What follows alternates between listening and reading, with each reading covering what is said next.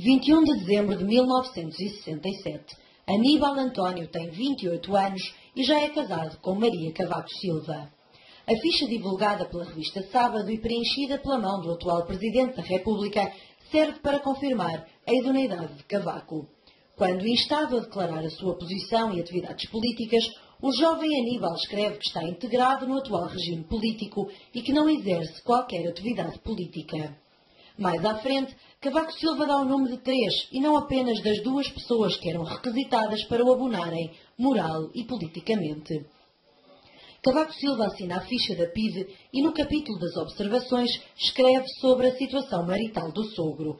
Diz o jovem Cavaco que o sogro é casado em segundas núpcias com Maria Mendes Vieira, com quem reside e com quem o declarante, o próprio Cavaco Silva, não priva. Este documento está atualmente na Torre do Tombo e faz parte dos arquivos da Polícia Internacional e de Defesa do Estado.